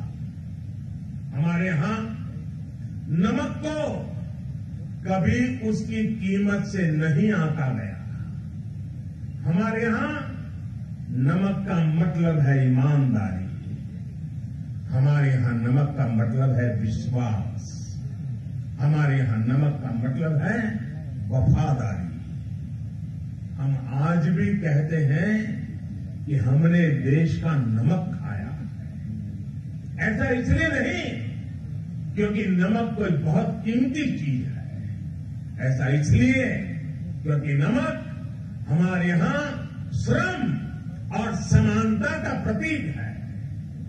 उस दौर में नमक भारत की आत्मनिर्भरता का एक प्रतीक था। अंग्रेज़ों ने भारत के मूल्यों के साथ साथ इस आत्मनिर्भरता पर भी चोट की। भारत के लोगों को इंग्लैंड से आने वाले नमक पर निर्भर हो जाना पड़े। गांधी जी ने देश के उस पुराने दर्द को समझा, जन जन से जुड़ी उस नत को पकड़ा और देखते ही देखते ये आंदोलन, हर एक भारतीय का आंदोलन बन गया, हर एक भारतीय का संकल्प बन गया। साथियों इसी तरह आज़ादी की लड़ाई में अलग अलग संग्रामों अलग अलग घटनाओं की भी अपनी प्रेरणाएँ, अपने संदेश हैं, जिन्हें आज का भारत आत्मसात कर आगे बढ़ सकता है। अठारह सौ सत्तावन का स्वातंत्र संग्राम महात्मा गांधी का विदेश से लौटना देश को सत्याग्रह की ताकत फिर याद दिलाया। लोकमान्य तिलक का पूर्ण स्वराज का आह्वान नेताजी सुभाष चंद्र बोस के नेतृत्व में आज़ाद हिंद फौज का दिल्ली मार्च। दिल्ली चलो। ये नारा आज भी हिंदुस्तान बोल नहीं सकता। है 1942 का अवय स्मरणीय आंदोलन। अंग्रेज़ों, भारत छोड़ो का वो घोष ऐसे कितने ही अनगिनत पड़ाव जिनसे हम प्रेरणा लेते हैं, ऊर्जा लेते हैं। ऐसे कितने ही हुतात्मा सेनानी हैं जिनके प्रति देश हर रोज अपनी कृतज्ञता व्यक्त करता है। अठारह सौ सत्तावन की क्रांति के मंगल पांडे टाटा टोपे जैसे वीर हो, अंग्रेज़ों की फौज के सामने निर्भीक गर्जना करने वाली रानी लक्ष्मीबाई हो की रानी चन्नम्मा हो, रानी गाड़ी ल्यू हो, चंद्रशेखर आज़ाद रामप्रसाद बिस्तर भगत सिंह, सुखदेव राजगुरु अथवा उल्ला खां गुरु राम सिंह टिट्टू सिंह पोल रामास्वामी जैसे वीर हो। या फिर पंडित नेहरू, सरदार पटेल, बाबा साहब आम्बेडकर सुभाष चंद्र बोस मौलाना आज़ाद खान अब्दुल गफार खान, वीर सावरकर जग अनगिनत जननायक ये सभी महान व्यक्तित्व आज़ादी के आंदोलन के पथदर्शक रहे। आज इन्हीं के सपनों को भारत बनाने के लिए, उनके सपनों का भारत बनाने के लिए हम सामूहिक संकल्प ले रहे हैं। इनसे प्रेरणा ले रहे हैं। साथियों, हमारे स्वाधीनता संग्राम में ऐसे भी कितने आंदोलन हैं, कितने ही संघर्ष हैं, जो देश के सामने उस रूप में नहीं आए जैसे आने चाहिए थे। ये एक एक संग्राम, संघर्ष अपने आप में भारत की असत्य के खिलाफ सत्य की सशक्त घोषणाएँ हैं। एक एक संग्राम भारत के स्वाधीन स्वभाव के सबूत है। ये संग्राम इस बात का भी साक्षात प्रमाण है कि अन्याय, शोषण और हिंसा के खिलाफ भारत की जो चेतना राम के युग में थी महाभारत के कुरुक्षेत्र में थी, हल्दी घाटी की रणभूमि में थी, शिवाजी के उद्घोष में थी। वही शाश्वत चेतना, वही अदम्य शौर्य, भारत के हर क्षेत्र, हर वर्ग और हर समाज ने आज़ादी की लड़ाई में अपने भीतर प्रज्वलित करके रखा था। जननी जन्मभूमि स्वर्गाल भी करिएसी ये मंत्र आज भी हमें प्रेरणा देता है। आप देखिए, हमारे इस इतिहास को गोल आंदोलन हो या हो संघर्ष, खांसी आंदोलन हो या संथाल क्रांति कठोहा कठार नागा संघर्ष हो या कूका आंदोलन भील आंदोलन हो या मुंडा क्रांति, सन्यासी आंदोलन हो या रमोसी संघर्ष, चित्तूर आंदोलन त्रावणकोर आंदोलन, बारडोली सत्याग्रह, चंपारण सत्याग्रह, संभलपुर संघर्ष, चुआर संघर्ष, बुंदेल संघर्ष। ऐसे कितने ही कितने ही संघर्ष और आंदोलनों ने देश के हर भूभाग को, हर कालखंड में आज़ादी की ज्योति से प्रज्वलित रखा। इस दौरान हमारी सिख गुरु परंपरा ने देश की संस्कृति, अपने रीति रिवाज की रक्षा के लिए हमें नई ऊर्जा दी, प्रेरणा दी। त्याग और बलिदान का रास्ता दिखाया। और इसका एक और अहम पक्ष है जो हमें बार बार याद करना चाहिए। साथियों, आज़ादी के आंदोलन की इस ज्योति को निरंतर जागरूक करने का काम पूर्व, पश्चिम, उत्तर, दक्षिण, हर दिशा में, हर क्षेत्र में हमारे संतों ने महंतों ने, आचार्यों ने, भगवतों ने निरंतर किया था। एक प्रकार से भक्ति आंदोलन ने राष्ट्रव्यापी स्वाधीनता आंदोलन की पीठिका तैयार की थी। पूर्व में चैतन्य महाप्रभु, रामकृष्ण परमहंस, श्रीमद शंकर देव जैसे संतों के विचारों ने समाज को दिशा अपने लक्ष्य पर केंद्रित रखा। पश्चिम में मीराबाई एकनाथ, तुकाराम, रामदास, नरसिंह मेहता हुए। उत्तर में संत रामानंद कबर कबीरदास, गोस्वामी तुलसीदास सुरदास गुरु नानक संत रविदास। दक्षिण में माधवाचार्य निम्बाकाराचार्य वल्लभाचार्य रामानुजाचार्य। भक्ति काल के इसी खंड में? मलिक मोहम्मद जायसी रसखान सुरदास केशवदास विद्यापति जैसे महानुभावों ने अपनी रचनाओं से समाज को अपनी कमियाँ सुधारने के लिए प्रेरित किया। ऐसे अनेकों व्यक्तित्वों के कारण ये आंदोलन क्षेत्र की सीमा से बाहर, क्षेत्र की सीमा से बाहर निकल करके पूरे भारत के जन जन को अपने आप में समेट लिया। आज़ादी के नसंगी आंदोलनों में। ऐसे कितने ही सेनानी, संत आत्माएँ, ऐसे अनेक वीर बलिदानी हैं, जिनकी एक एक गाथा अपने आप में इतिहास का एक एक स्वर्णिम अध्याय है। हमें महानायकों, महानायिकाओं, उनका जीवन इतिहास विदेश के सामने पहुंचाना इन लोगों की जीवन गाथाएँ उनके जीवन का संघर्ष। हमारे स्वतंत्रता आंदोलन के उतार चढ़ाव। कभी सफलता, कभी असफलता। हमारी आज की पीढ़ी को जीवन का हर पाठ सिखाएगी। एकजुटता क्या होती है? लक्ष्य को पाने की जिद क्या होती है? जीवन का हर रंग वो और बेहतर तरीके से समझेंगे। भाई और बहनों आपको याद होगा, इसी भूमि के वीर सपूत, श्याम कृष्ण वर्मा, अंग्रेज़ों की धरती पर रहकर, उनकी नाक के नीचे जीवन की आखिरी सांस तक आज़ादी के लिए संघर्ष करते रहे। लेकिन उनकी अस्थियाँ सात दशकों तक इंतज़ार करती रही कि कब उन्हें भारत माता की गोद नसीब होगी।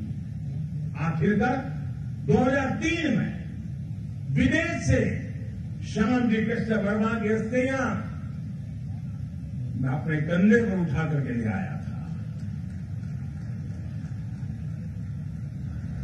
ऐसे कितने ही कितने ही सेनानी हैं, देश पर अपना सब कुछ समर्पित कर देने वाले लोग देश के कोने कोने से कितने ही दलित आदिवासी महिलाएँ और युवा हैं, जिन्होंने असंख्य तप और त्याग किए। याद करिए, तमिलनाडु के बत्तीस वर्षीय नौजवान कोली का कुमरन।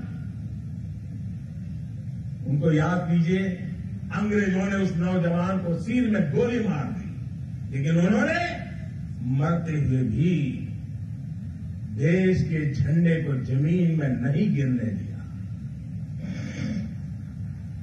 तमिलनाडु में उनके नाम से ही कोड़ी कांत शब्द जुड़ गया, जिसका अर्थ है झंडे को बचाने वाला। तमिलनाडु की ही वेलू नाचिया वो पहली महारानी थी जिन्होंने अंग्रेज़ी हुकूमत के खिलाफ लड़ाई लड़ी थी। इसी तरह हमारे देश के आदिवासी समाज ने अपनी वीरता और पराक्रम से लगातार विदेशी हुकूमत को घुटनों पर लाने का काम किया। झारखंड में भगवान बिरसा मुंडा। उन्होंने अंग्रेज़ों को चुनौती दी थी। तो मुर्मू भाइयों ने संथाल आंदोलन का नेतृत्व किया था। ओडिशा के चक्रा बिसोई ने लड़ाई छेड़ी तो लक्ष्मण नायक ने गांधीवादी तरीकों से चेतना फैलाई। आंध्र प्रदेश में मंडम वेणुडी यानी जंगलों के हीरो अल्लूरी सिराराम राजू ने रंपा आंदोलन का विगत फूका था। पांचल था खुंग चेहरा ने मिजोरम की पहाड़ियों में अंग्रेज़ों से लोहा लिया था। ऐसे ही गोमधर, कंवर, लसित फुकन और सीरत सिंह जैसे असम और पूर्वोत्तर के अनेकों स्वाधीनता सेनानी थे, जिन्होंने देश की आज़ादी में योगदान दिया। यहाँ गुजरात में, बड़ौदा के पास जामुगा जाने के रास्ते पर, हमारे नायिका कौम के आदिवासियों, बलिदान कैसे भूल सकते हैं? मानगढ़ में गोविंद गुरु के नेतृत्व में सैकड़ों आदिवासियों का नरसंहार हुआ। उन्होंने लड़ाई लड़ी। देश इनके बलिदान को हमेशा याद रखेगा। साथियों, माँ भारती के ऐसे ही वीर सपूतों का इतिहास देश के कोने कोने में गाँव गाँव में है। देश इतिहास के इस गौरव को सहेजने के लिए पिछले छह सालों से सजग प्रयास कर रहा है। हर राज्य, हर क्षेत्र में इस दिशा में प्रयास किया जा रहा है। बाणी यात्रा से जुड़े स्थल का पुनरुद्धार देश ने दो साल पहले पूरा किया था। मुझे खुद इस अवसर पर दांडी जाने का सौभाग्य मिला था। अंडमान में जहाँ नेताजी सुभाष बोस ने देश की पहली पहली आज़ाद सरकार बनाकर तिरंगा फहराया था। देश ने उस विस्मृत इतिहास को भी भव्य आकार दिया है। अंडमान निकोबार के द्वीपों को स्वतंत्रता संग्राम के नामों पर रखा गया है। आज़ाद हिंद सरकार के 75 साल पूरे होने पर लाल किले पर भी आयोजन किया गया, तिरंगा फहराया गया और नेताजी सुभाष बाबू को श्रद्धांजलि दी गई। गुजरात में सरदार वल्लभ भाई पटेल की विश्व की सबसे ऊँची प्रतिभा उनके अमर गौरव को पूरी दुनिया तक पहुँचा रही है। जलियांवाला बाग में स्मारक हो या फिर पाई का आंदोलन की स्मृति में स्मारक, सभी पर काम हुआ। बाबा साहब अंबेडकर से जुड़े, जो सात दशकों से भूले बिखरे पड़े थे, उनका भी विकास देश ने पंच तीर्थ के रूप में किया। है इन सबके साथ ही देश ने आदिवासी स्वाधीनता सेनानियों के इतिहास को देश तक पहुँचाने के लिए आने वाली पीढ़ियों के लिए पहुँचाने के लिए हमारे आदिवासियों के संघर्ष की कथाओं को जोड़ता हुआ देश में म्यूज़ियम बनाने का एक प्रयास शुरू किया है। साथियों, आज़ादी के आंदोलन के इतिहास की तरह ही आज़ादी के बाद के 75 वर्ष की यात्रा, सामान्य भारतीयों के परिश्रम इनोवेशन उद्यमशीलता का प्रतिबिंब है।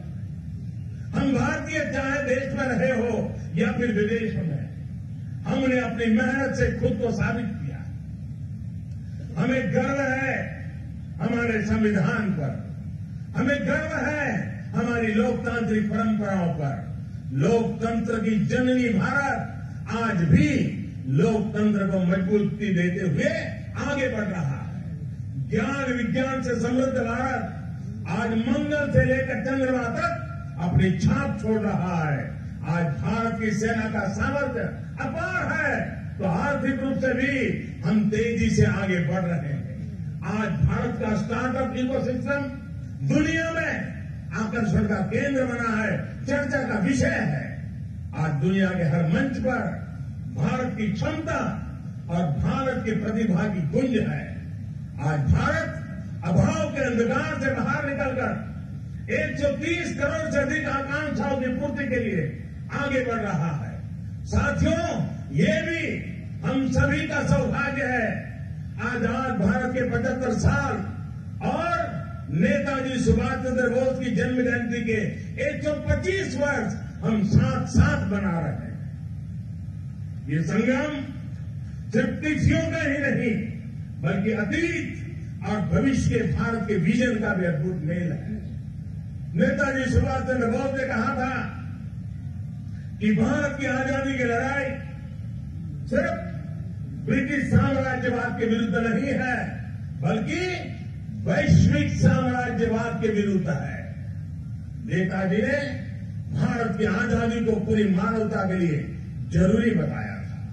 समय के साथ नेताजी की बात सही सिद्ध हुई।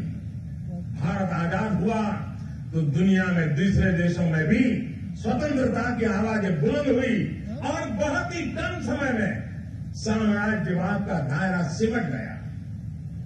और साथियों, आज भी भारत की उपलब्धियाँ आज सिर्फ़ हमारी अपनी नहीं है, बल्कि पूरी दुनिया को रोशनी दिखाने वाली, पूरी मानवता को उम्मीद जगाने वाली है। भारत की आत्मनिर्भरता से ओतप्रोत हमारी विकास यात्रा पूरी दुनिया की विकास यात्रा को गति देने वाली। है कोरोना काल में ये हमारे सामने प्रत्यक्ष सिद्ध भी हो रहा है।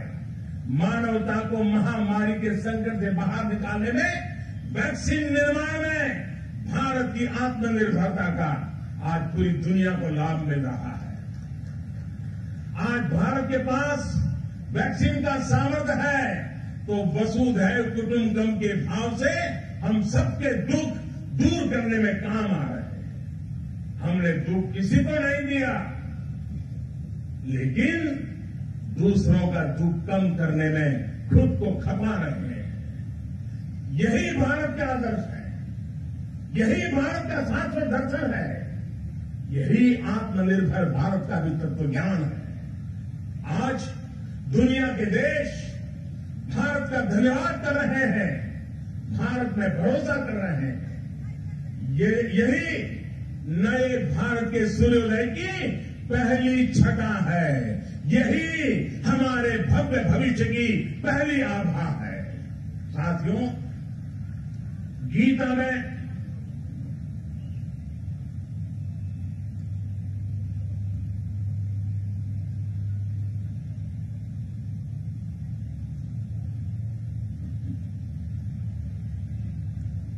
साथियों गीता में भगवान श्री कृष्ण ने कहा है, सम दुख सुखम धीरम सह सम दुख सुखम धीरम सह अमृतत्वाय कल्पते।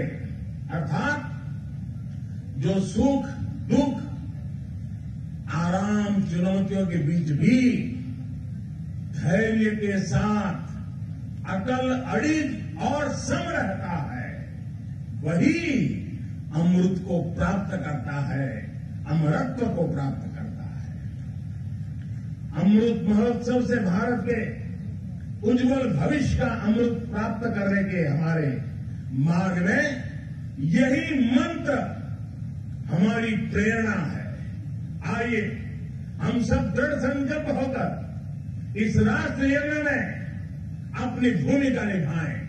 साथियों आज़ादी के अमृत महोत्सव के दौरान देशवासियों के सुझावों से, उनके मौलिक विचारों से अनगिनत असंख्य आइडिया निकलेंगे कुछ बातें, अभी जब मैं आ रहा था तो मेरे मन में भी चल रही थी। जन भागीदारी, जन सामान्य को जोड़ना, देश का कोई नागरिक ऐसा न हो इस अमृत महोत्सव का हिस्सा हो अब जैसे मान लीजिए हम छोटा सा एक उदाहरण दें। अब सभी स्कूल, कॉलेज आज़ादी से जुड़ी हुई पचहत्तर घटनाओं का संकलन करें। हर स्कूल तय करें कि हमारे स्कूल आज़ादी के पचहत्तर घटनाओं का संकलन करें पचहत्तर ग्रुप बनाए। उन घटनाओं पर पचहत्तर विद्यार्थी, पचहत्तर ग्रुप जिसमें आठ सौ हज़ार, दो हज़ार विद्यार्थी हो सकते हैं। एक स्कूल ये कर सकता है। छोटे छोटे हमारे शिशु मंदिर के बच्चे होते हैं, बाल मंदिर के बच्चे होते हैं। आज़ादी के आंदोलन से जुड़े पंचहत्तर महापुरुषों की सूची बनाएँ, उनकी वेशभूषा करें, उनके एक एक वाक्य को बोले, उसका कंपटीशन हो। स्कूल में भारत के नक्शे पर आज़ादी से जुड़े पचहत्तर स्थान चिन्ह से चिन्हित किए जाए। बच्चों को बताया जाए, बताओ भाई, बारडोली कहाँ आया, चंपारण कहाँ आया? लॉ कॉलेज के छात्र छात्राएँ ऐसी पचहत्तर घटनाएँ पहुँचा और मैं हर कॉलेज से आग्रह करूँगा। हर लॉ स्कूल से आग्रह करूँगा। पचहत्तर घटनाएँ पहुँचे जिसमें आज़ादी की लड़ाई जब चल रही थी तो कानूनी जंग कैसे चला कानूनी लड़ाई कैसे चली? कौन लोग थे कानूनी लड़ाई लड़ रहे थे? आज़ादी के वीरों को बचाने के लिए कैसे कैसे प्रयास हुए? अंग्रेज़ सल्तनत के जुडिशरी का क्या रवैया था? सारी बातें हम लिख सकते हैं। जिनका इंटरेस्ट नाटक में है, वो नाटक लिखे फाइनेंस के विद्यार्थी उन घटनाओं पर पेंटिंग बनाए जिसका मन करे कि वो गीत लिखे कविताएँ लिखे। ये सब शुरू में हस्तलिखित हो। बाद में इसको डिजिटल स्वरूप भी दिया जा रहा है। और मैं चाहूँगा, कुछ ऐसा हर स्कूल कॉलेज का एक प्रयास स्कूल कॉलेज की धरोहर बन जा रहा है और कोशिश हो ये काम इसी 15 अगस्त से पहले पूरा कर दिया जाए। अब देखिए पूरी तरह वैचारिक अधिष्ठान तैयार हो जाएगा। बाद में इसे जिला व्यापी राज्यव्यापी देशव्यापी स्पर्धाएँ भी आयोजित हो सकती है। हमारे युवा, हमारे स्कॉलर ये ज़िम्मेदारी उठाएँ कि वो हमारे स्वाधीनता सेनानियों के इतिहास लेखन में देश के प्रयासों को पूरा करेंगे। आज़ादी के आंदोलन में और उसके बाद हमारे समाज की जो उपलब्धियाँ रही है, उन्हें दुनिया के सामने और प्रखरता से लाई मैं कला, साहित्य, नाट्य जगत, फ़िल्म जगत और डिजिटल एंटरटेनमेंट से जुड़े लोगों से भी आग्रह करूँगा। कितनी अद्वितीय कहानियाँ हमारे अतीत में बिखरी पड़ी है। इन्हें तलाशिए इन्हें जीवंत कीजिए। आने वाली पीढ़ी के लिए तैयार कीजिए।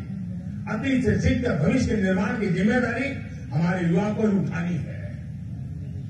साइंस हो टेक्नोलॉजी हो मेडिकल हो पॉलिटिक्स हो आर्ट हो कल्चर हो, आप जिस भी फ़ील्ड में हैं, अपनी फ़ील्ड का कल, आने वाला कल बेहतर कैसे हो, इसके लिए प्रयास किया जा रहा है।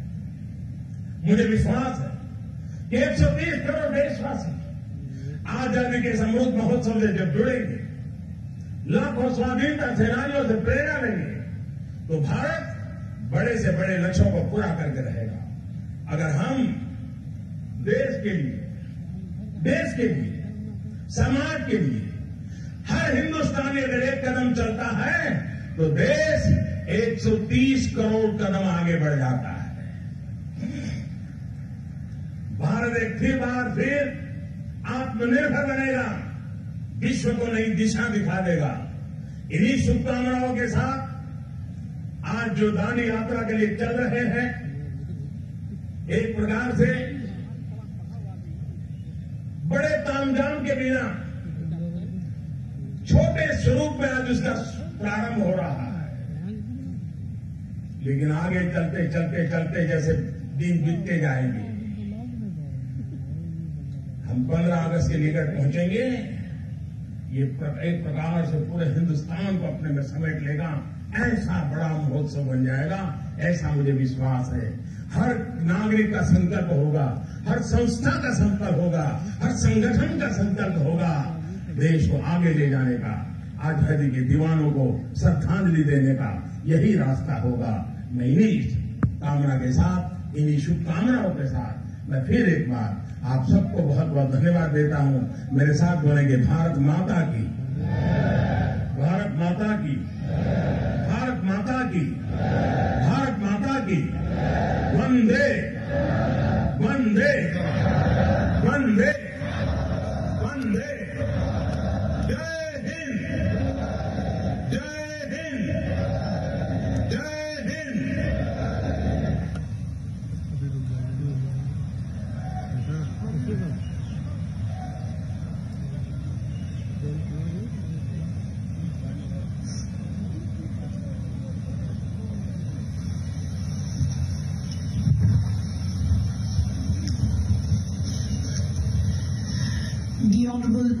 Minister Shri Narendra Modi ji has launched a celebration on a gigantic scale.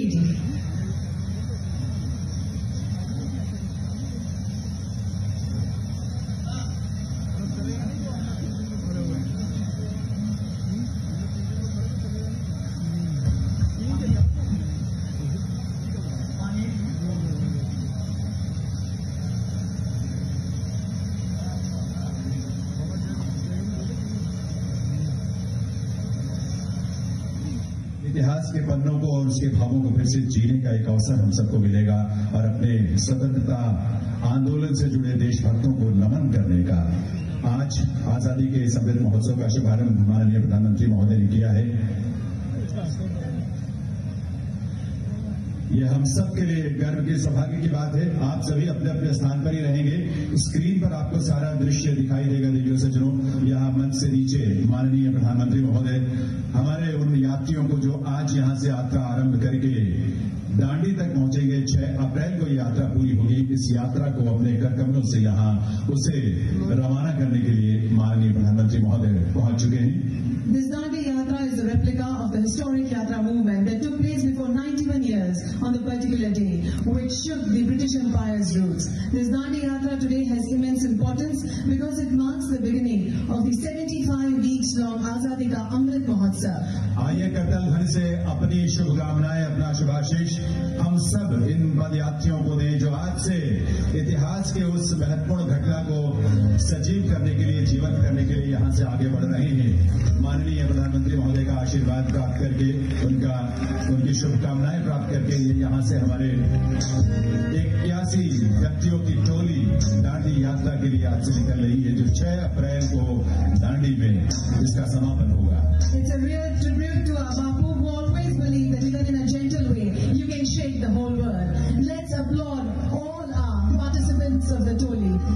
Thank you.